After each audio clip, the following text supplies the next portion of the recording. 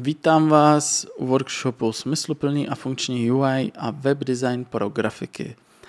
Eh, dostáváme se k části prezentace vašeho, vašeho designu, vašeho navrhu.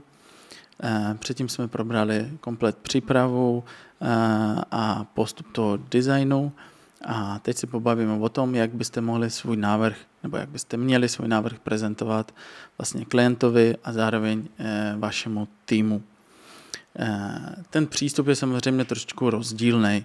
Eh, trošičku jinak to budete prezentovat klientovi, trošičku jinak to budete prezentovat svým týmu, nebo když říkám týmu, tak to můžou být kodeři, vývojáři a vlastně ten přístup je trošičku jiný.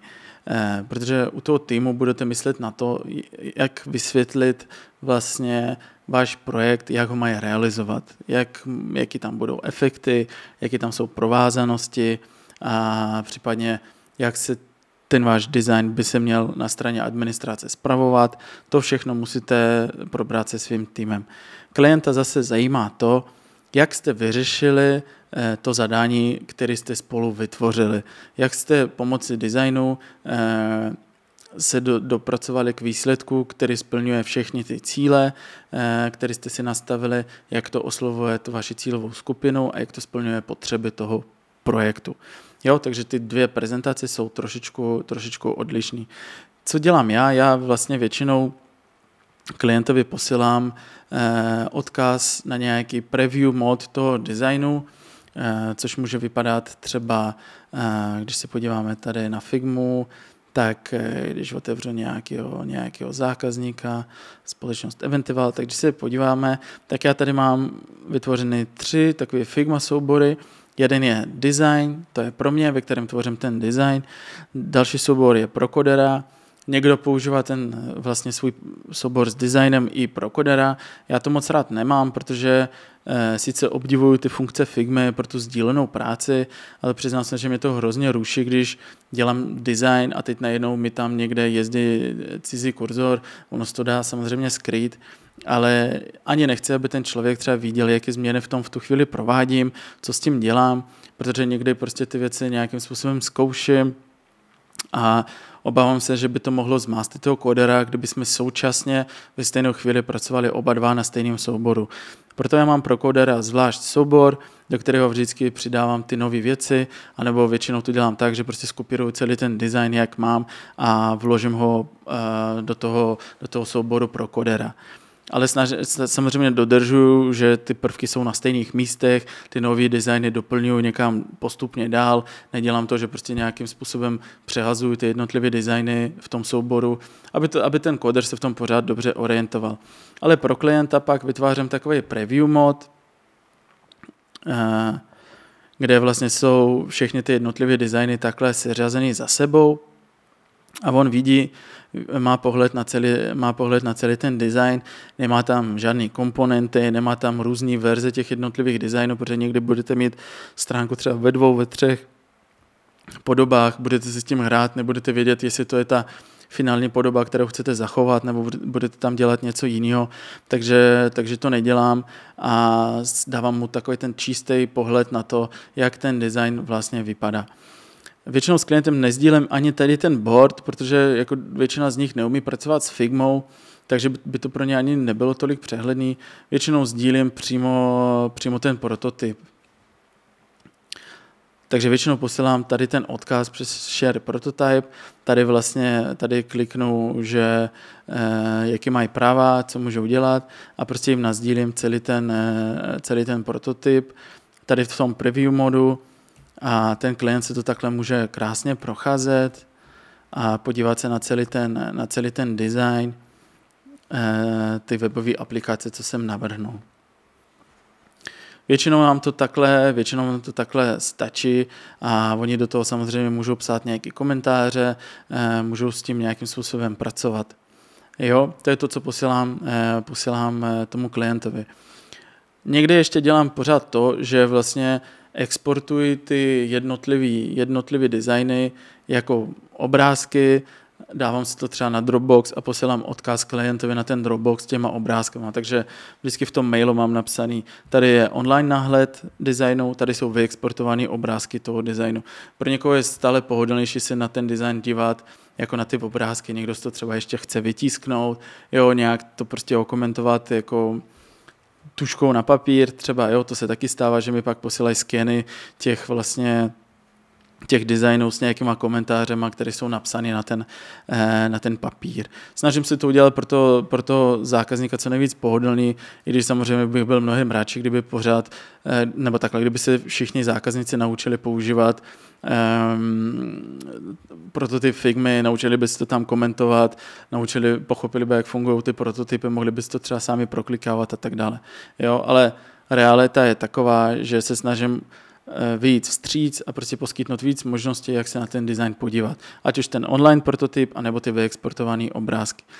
Co se týče týmu, tak jim samozřejmě sdílím přímo ten soubor, celý ten, celý ten, celý ten board eh, s tím designem, ale jak říkám, dělám kopii, kopii pro kodera, které jsou většinou stejné jako ten design, akorát tam nejsou třeba ty rozdělané věci, jo, jenom tam doplňuju ty nové věci, Eh, pro, toho, pro, ten, pro ten vývoj. Nově ve Figmě je možnost vlastně eh, zapínat, eh, myslím si, že u těch frameů nebo u těch sekcí, teď nevím, ještě jsem to neskoumal, stav, že je to připravený pro vývoj. Jo, takže možná začnu používat tohle, uvidíme. Ještě, ještě, ještě jsem to neskoušel, takže nevím, jak úplně to funguje. Ale v tuhle chvíli u projektu mám takhle tři, vlastně tři soubory, které používám. Design, soubor pro kodera a preview mod pro toho zákazníka, který, který mu posílám s tím prototypem. Pro vývojáře posílám ten soubor, ve kterém oni vidějí i ty komponenty, i tu style guide a všechno. Jo, já si myslím, že pro ně je to důležité, zákazník by se v tom, pro zákazníka to není tak zásadní. Když budu chtít, tak jim to style guide ukážu, ukážu jim ty komponenty a všechno, ale většina, většinou klientů to zajímat nebude, že používáte komponenta, že používáte auto layout, je to jenom e, pro vás, pro vaši práci a můžete to samozřejmě použít jako argument, proč jste ten dobrý designer, že využíváte všechny ty funkce. Neříkám, že to, že začnete používat komponent layout, že, že z vás dělá automaticky lepšího designera. Ve výsledku záleží na tom, jak ta věc vypadá, jak je chytrá na pozadí, je takový příjemný bonus, ale věřím, že pořád bude spousta jako skvělých designerů, kteří prostě tyhle moder, moderní funkce nevyužívají a budou mít designy bez komponenta, bez auto layoutu. Není to nic proti ničemu. Jestli jsou zvyklí takhle pracovat, jsou schopni to dělat rychle a nevadí jim to, tak proč ne? Důležité je, aby ten produkt, ten design splňoval ty cíle, které jste si s tím klientem nastavili. Co doporučuji, samozřejmě eh, dávat pozor na tu vysokou kvalitu, kvalitu těch obrázků a tím myslím, ať už když děláte export toho designu do obrázku, tak abyste, proto exportuju vždycky do PNGčka, aby tam byla co, nejmen, co nejmenší komprese, ale tím myslím i ty obrázky třeba uvnitř toho vašeho designu. Jo? Někdy prostě budete mít eh, neúplně kvalitní obrázky, které roztáhnete pro celý slider, prostě to nevypadá dobře. Snažte se najít velké obrázky, které, které prostě bude, budou hezky vypadat eh, uvnitř, uvnitř toho vašeho designu. Eh, samozřejmě, když si dáte tu práci, což jako ty moderní nástroje jako Figma, XD, umožňují, abyste mohli dělat různě interaktivní prototypy, nějaké animace a tak dále. Není to úplně něco, čím bych, čím bych se já zabýval, Ehm, samozřejmě já to dělám třeba u některých částí, u některých bloků, které nejsou úplně na první pohled jasně, jak budou vypadat. Jak jsme si říkali, eh, ne že by, eh, ne, že by nebylo jasný, jak, eh, jak se budou rozbalovat a zabalovat tady ty dotazy, ale prostě nebyl to, nebyla ta složitá práce toho prototypu, tak proč ne, tak to tam rovnou připravím, aby ten klient se na to mohl rovnou podívat vždycky, co dělám, jsou takové ty drobnosti, to jsou ty hover efekty. Jo, to je takový to minimum, co vždycky udělám aby ten zase design působil trošičku víc živej, že už vlastně je trošičku víc jako funkční, že už tam vlastně eh, ty věci nějak reagují na ten můj pohyb, na pohyb kurzoru a je tam nějaká odezva, když na něco kliknu, najedu. Myslím si, že je to fajn. Zase to, zase to trošičku zvedá ten prototyp. Na druhou stranu i někdy se stává, že ten klient pak má pocit, že už je to nakodovaná HTML šablona, tak jim to zase musíte vysvětlit. Ne, ne, ne, je to pořád jenom design. Teď, jestli se vám všechno líbí, tak to musíme celý nakodovat.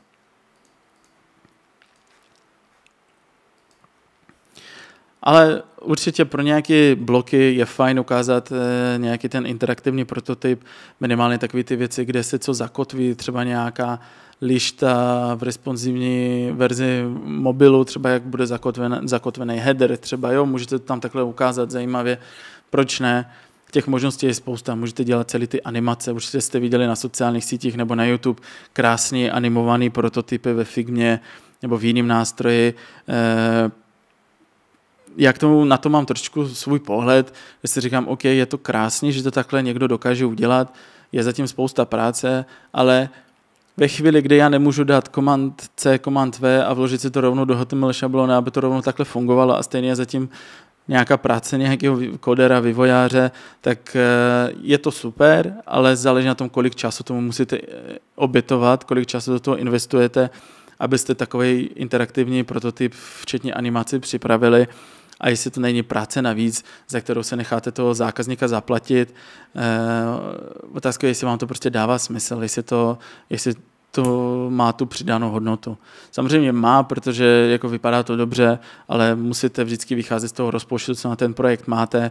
Jestli je nějakým způsobem fixně daný, tak bych se snažil držet toho, fix, toho rozpočtu, abyste ho nepřesáhli kvůli tomu, že budete dělat krásný interaktivní prototyp. A nebo musíte to mít zahrnutý v rámci toho rozpočtu, aby pak zákazník nebyl překvapený, že jste si s tím víc hrali a bude vám za to muset zaplatit víc peněz. Uh, část dokumentace, popis scénáře obhajoba návrhu, to je vlastně to, že e, otevřu ten svůj e, připravený design a teď do mailu nebo do nějakého dokumentu začínám sepisovat, e, proč jsem zvolil e, takové řešení pro jednotlivé bloky, proč jsem si vybral takovéhle barvy, proč jsem si vybral takovéhle písmo, proč jsem si vybral takovéhle fotografie, takové rozložení a tak dále. Je to z toho důvodu, abyste líp obhájili svůj návrh, líp obhájili svoje jednotlivé řešení. Působí to za A profesionálně, za B tomu člověku ukážete, jak jste o tom přemýšleli a co vás převedlo k tomu výsledku. Zároveň, jak jsme se už bavili v rámci této našeho workshopu, tak eh, víte, že když jste nepodcenili tu připravu, když jste zapojili toho zákazníka, tak vlastně ty řešení už byly vymyšleny předtím. A vlastně ono stačí v rámci té dokumentace, co budete předávat, předávat s tím svým designem, stačí napsat, jak jsme se spolu domluvili, tak ten leblok se bude chovat takhle, ten slider bude fungovat takhle, bude v něm video, bude v něm fotka, video se bude otevírat třeba do pop-upu, nebo naopak video bude externí odkaz na YouTube, já nevím co všechno, takže můžete se opřít právě o to zadání, co jste spolu s tím eh, klientem vytvořili. Jo, a v tu chvíli eh, mu jenom připomenete vlastně, že jste se o ty věci bavili, že jste se takhle domluvili a takhle to vypadá, protože to vychází z nějakého zadání, které jste spolu eh, společně vytvořili. A v tu chvíli ta obhajoba je mnohem jednodušší. Není úplně ideální prostě poslat odkazy na svůj design a říct, tady jsem to udělal, podívejte se na to.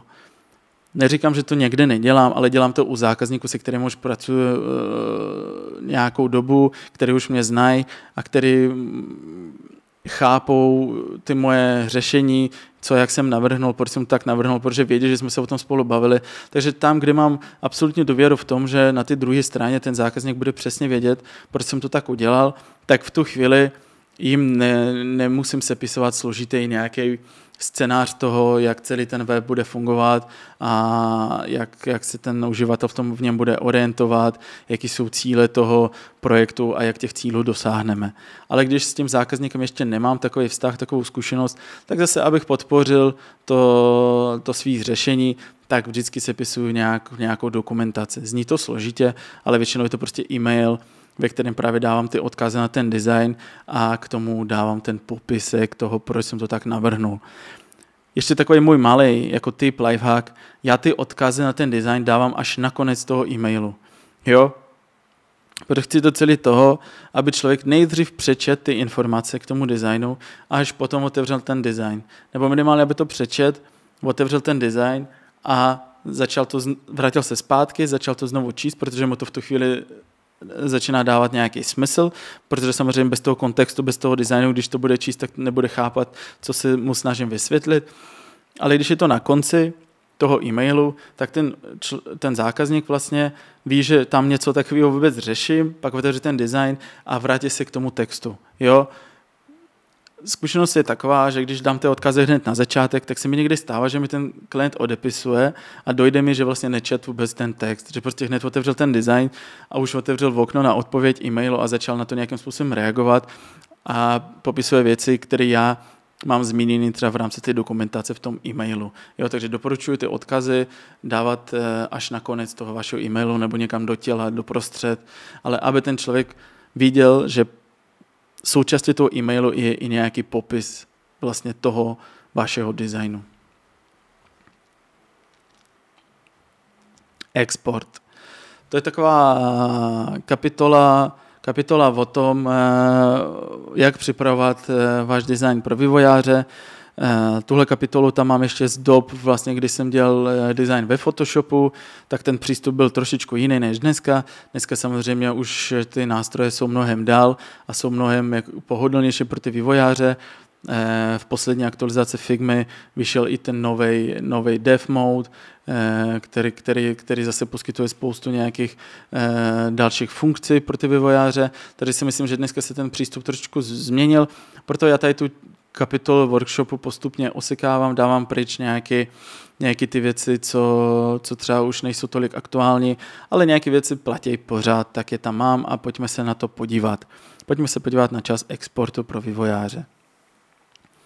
Určitě bych nezanedbával pojmenování vrstev, eh, různých eh, frameů, eh, jednotlivých souborů.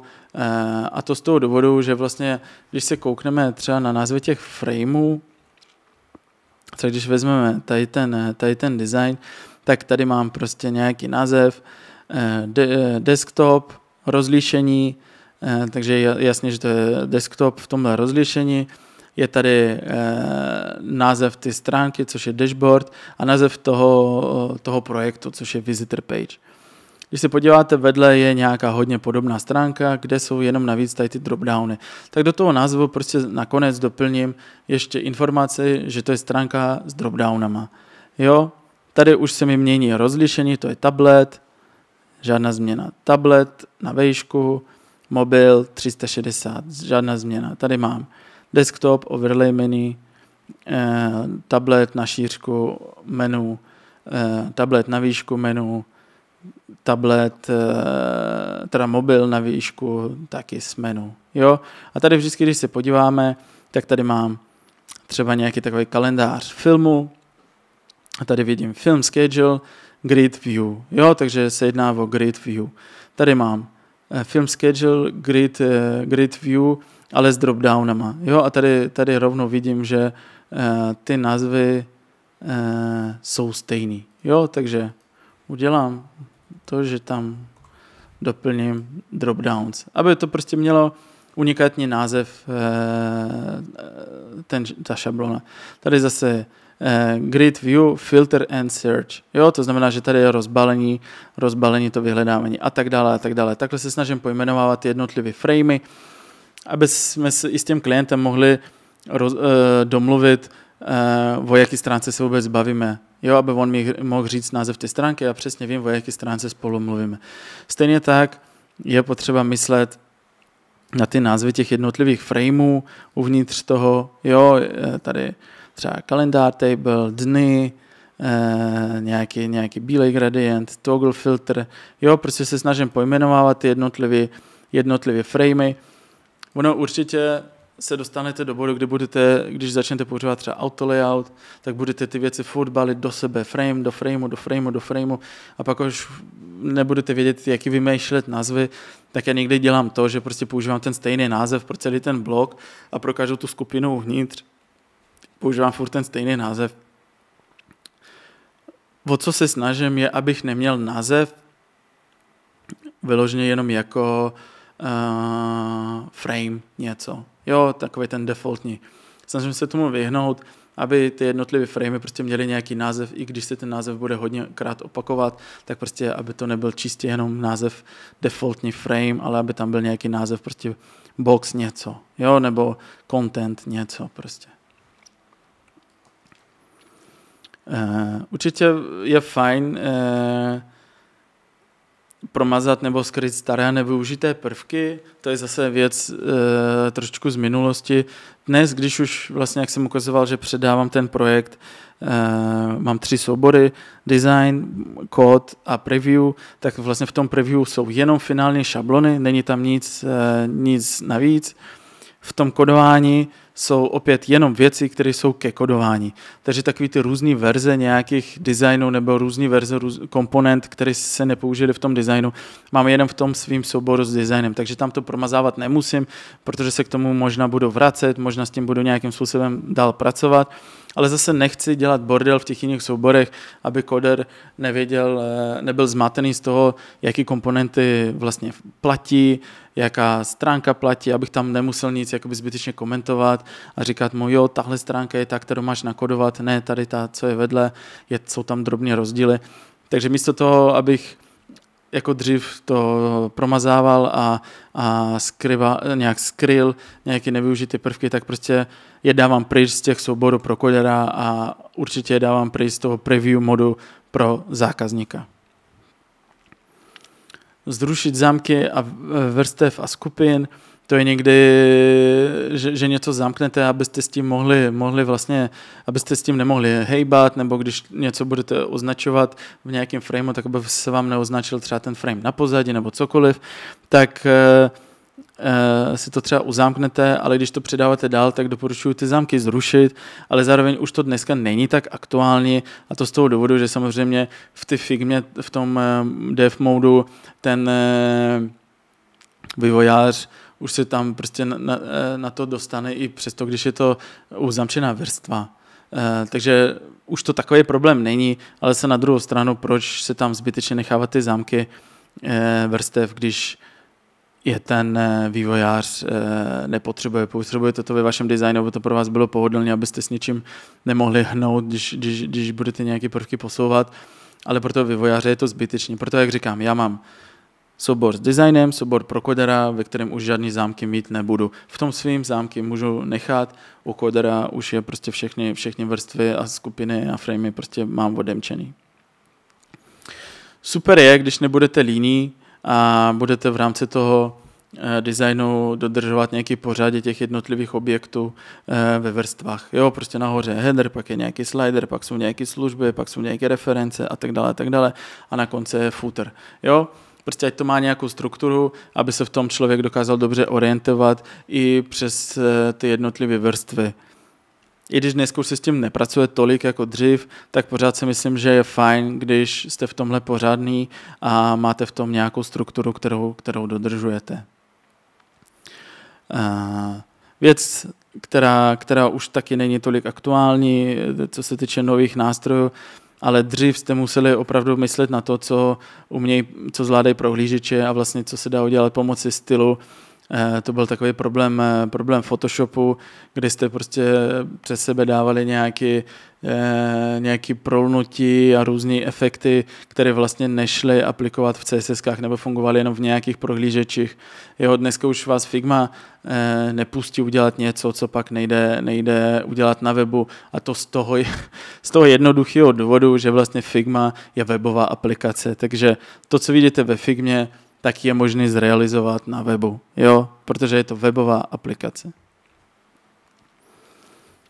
Vektory, export SVG a vektoru. Ehm, tady je to, tady je to o tom, že eh, je fajn Eh, si připravit pro export eh, nějaký ty SVG, co tam máte, když jsou nějaké komplexnější, složitější, abyste se pohlídali, že všechny ty eh, SVG jsou, jsou dobře vyexportované, že tam nechybí nějaký, když je to složitější vektorová ilustrace, že tam nic nechybí, tak já osobně preferuji si ty exporty udělat sám ale někdy, někdy, někdy samozřejmě to nechávám na tom vývojáře, aby si to celý vyexportoval tak, jak bude potřebovat. A pak to jenom zkontroluju v té šabloně, jestli tam všechny ikonky sedějí, jestli tam všechno je správně, všechno dobře nastavený. A kdyby tam byl někde nějaký problém, tak zase jenom připravím ty jednotlivé vektory zvlášť, vyexportuju si a požádám o vyměnu třeba ty ilustrace v tom designu v té HTML šabloně. Eh, obrázky pro retinu, tady v podstatě jde jenom o to, myslet, přemýšlet o tom obrázku tak, abyste třeba v nějakém boxu, třeba s nějakou novinkou, měli větší zdrojový obrázek, než je ten, co se zobrazuje vlastně v tom vašem designu. Jo, protože nám se třeba, nejenom nám, je to samozřejmě takový dobrý přístup, když prostě do menšího boxu vkládáte obrázek, který má větší rozlišení, pak můžete trošičku stáhnout uh, jeho kvalitu a on jak z toho většího se zmenší, uh, se zmenší, tak vlastně on bude vypadat furt kvalitně, nebude zabírat tolik místa a na retina displejích prostě bude vypadat dobře. Je to hrozně vidět třeba u logotypu a ikonek, co nejsou SVGčka, a když to jsou PNGčka, tak když jsou vloženi jedna ku jedný, tak eh, na retině displejích prostě vidíte, jak jsou takový po, po hránách rozmazaný. Proto doporučuji mít ty zdroje vždycky větší, aby se dali uložit třeba dvakrát tak velký a pak vlastně se dvojnásobně zmenší velikost eh, třeba toho v obrázku a na retině to bude vypadat ostře a bude to vypadat prostě líp. Ale jinak, když je možnost použít SVG vektor, tak vždycky si snažte použít SVG, eh, vektorový SVG, protože to pak je prostě perfektně ostrý, ale mě ty SVG nezabírají ani tolik, tolik, tolik prostoru, jako třeba průhledný PNG. Když používáte nějaký textury nebo patterny v tom designu, tak uh, musíte, musíte si dávat pozor na to, aby jste někde měli bokem připravený vlastně tu samotnou texturu a ten pattern, ten jednotlivý díl toho patternu, který se pak kopíruje. Jo? Někdy se stává, že vezmete v rámci designu nějaký blok, na pozadí použijete pattern, který se prostě vám rozkopíruje a ten vývojář třeba nemusí v tu chvíli vidět, Eh, který díl z toho má použít jako pro ten, eh, pro ten pattern, aby mohl taky nastavit to opakování eh, o toho vzoru, aby mu to na sebe hezky navazovalo. Protože když používáte nějak, nějakou texturu nebo nějaký pattern, který na sebe navazuje, tak doporučuji ho v rámci Style Guide někde mít vytažený jako ten kus, který, který je připravený na to, aby se mohl opakovat. Písmo. Kdybyste nepoužívali třeba běžně dostupné knihovny jako Google Font, Fontshare a kdybyste měli to písmo třeba od toho brandu eh, dodaný, tak samozřejmě musíte to písmo zabalit a předat tomu vývojáři, aby ho měl taky k dispozici. Jo? Je potřeba si tam pohledat ta webová licence, celkově jako zjistit tu licenci, jestli ten font můžete použít na tom webu, ale vždycky ten font musíte dodat. Já většinou se snažím, jak jsem říkal, když to jde, tak používám Google Font nebo Fontshare, tak prostě posílám odkaz na ten font, jo, nebo ani ho neposílám, jenom v rámci té style guide je daný ten font a tomu vývojáři napíšu, mám to z Google Fontu, nebo je to font eh, ze stránek Fontshare a on ví, že si tam ten font eh, dokáže najít. Když eh, na webu používáte nějaké ty efekty, jak jsme se bavili, tak buď máte možnost uh, máte možnost si udělat ten animovaný prototyp, ten krásný animovaný prototyp, kde prostě budete mít vyladěný veškerou interaktivitu, animaci, všechno vám tam bude krásně lítat, hejbat se, to je super, to je jakoby ten ideální stav, ale já osobně preferuji pro to zjednodušení, pro to zrychlení, protože málo kdy vymýšlím ty animace úplně od nuly, Většinou mám k tomu nějakou inspiraci třeba z nějakých stránek, ať už z jedné nebo z více stránek, kde se mi líbí nějaké přechody ve slideru nebo něco, tak já prostě navrhnu ten design a pak posílám odkaz na tu stránku nebo ten zdroj toho efektu vyvojáře a říkám, hele, použil jsem eh, chci použít eh, pro ten slider tenhle efekt, co je na tomhle webu. Jo, a pro něj to je zase o dost jednodušší, protože vy, když sice uděláte ten krásný krásný efekt ve Figmě, tu animaci ve Figmě, tak on zase ji nedokáže jednoduše rozkličovat a zjistit, jak je to udělaný, jak je na to použitý třeba JavaScript nebo něco. Jo? Ale když pošlete hotový funkční projekt, ideálně někde, kde je přímo i kód toho efektu, že jo, jsou různé galerie různých efektů, tam je to přímo i s kódem, který můžete použít, tak je to samozřejmě zase zase e, pro něj mnohem jednodušší, že on tam může se podívat přímo na ten kus kódu, jak ta animace funguje a může to použít e, v rámci ty realizace, co dělá.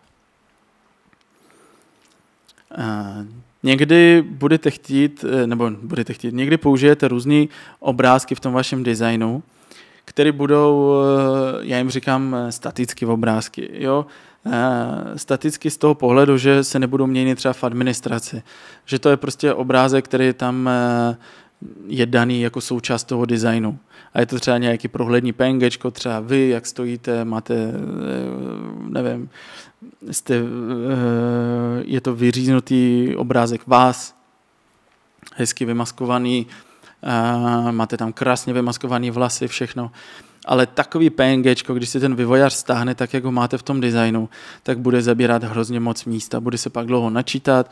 A samozřejmě rychlost načítání webu je dneska hrozně, hrozně důležitý téma.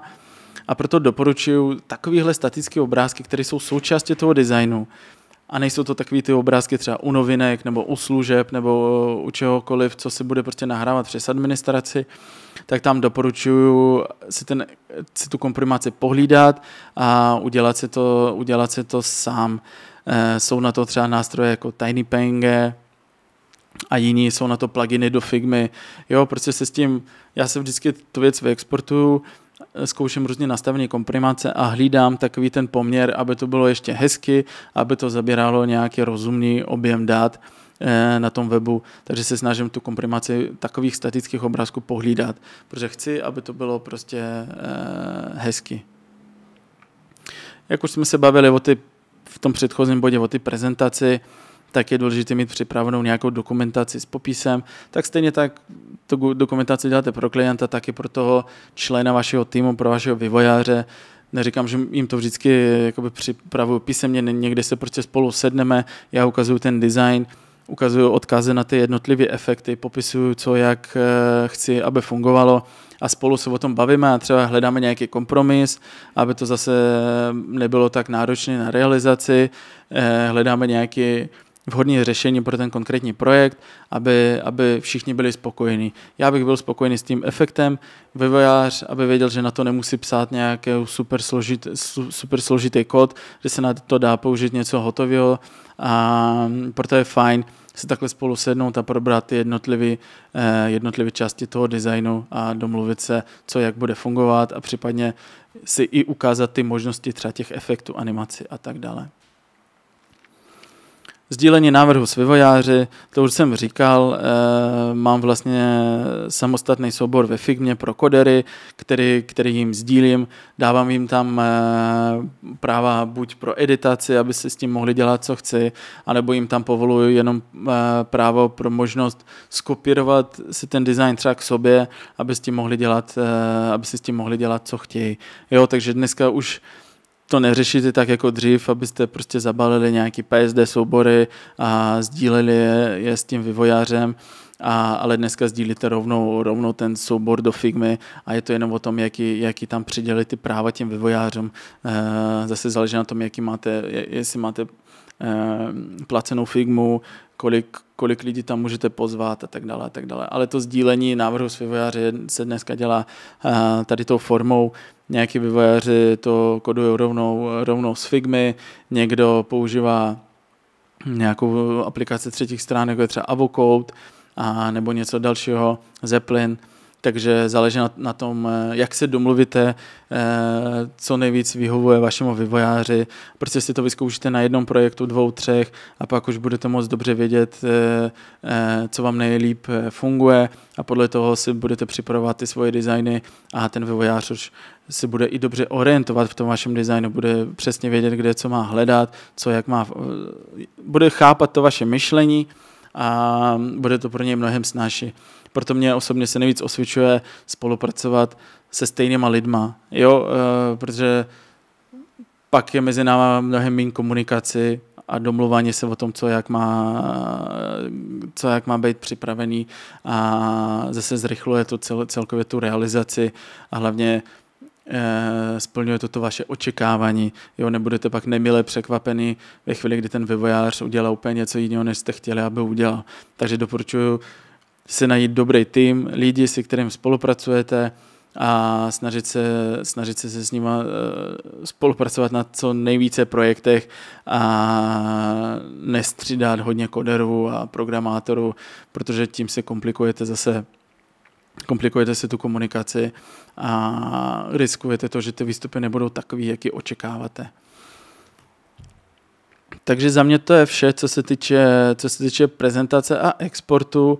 Eh, jak říkám, dneska díky, díky tomu, že ty nástroje jsou takové, jaké jsou, tak je to všechno hodně jednodušší, rychlejší. Eh, ať vaši vývojáři proskoumají dev mode, vypadá to, že tam udělali spoustu, spoustu vychytávek, spoustu nových funkcí, nebo vy se naučte Eh, nebo vy se jich zeptejte, co používají a podívejte se na ty nástroje, jak váš design vypadá v těch nástrojích a co třeba máte zlepšit v rámci ty přípravy. Je to hodně o ty komunikaci. Je to o tom se prostě spolu sednout, pobavit se o tom, a případně dávat zpětnou vazbu, aby i vývojář dal zpětnou vazbu na váš design, vy, abyste dal vývojáři zpětnou vazbu na váš kód a, a na to, jak to řešený v rámci administrace nebo, nebo frontend, backend, jo, aby všichni byli spokojení. Děláte to pro toho klienta, a je to něco, čím byste vůbec neměli svého klienta zatěžovat, je to něco, co byste se měli vyřešit někde na pozadí, aby klient vůbec nevěděl o těch nějakých dohadech a komplikacích. Nejhorší, co můžete dělat, je mít v kopii zákazníka a dohadovat se s vývojářem, když to není nějaký váš parťák, ale je to vývojář na straně klienta a teď mít v kopii klienta a řešit tam nějaké pixely, že někde něco ulítlo a tak dále. Nehází to dobrý světlo ani na vás, ani na toho vývojáře. Řešte si to mimo a ať ten klient vidí už jako ten, ten hotový produkt, který, který splňuje jeho očekávání. Takže vám eh, eh, přeji, aby vám to šlo od ruky, aby vaše designy byly rychle schvalované, abyste měli zajímavé projekty, abyste mohli eh, opouštět svoji komfortní zónu a tvořit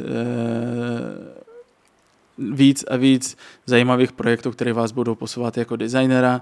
Určitě, určitě sledujte aktualizace aplikací, ve kterých pracujete, začněte využívat ty nové funkce, zkoumat to, zlepšovat svoje workflow, abyste byli rychlejší, efektivnější, začněte pracovat s umělou inteligenci, abyste měli, eh, abyste měli co nejméně rutinní práce a abyste měli co nejvíce prostoru pro kreativitu, ať ty projekty jsou zajímavý, hezký, ať furt nějakým způsobem se rozvíjíte a rostete v tom, co děláte.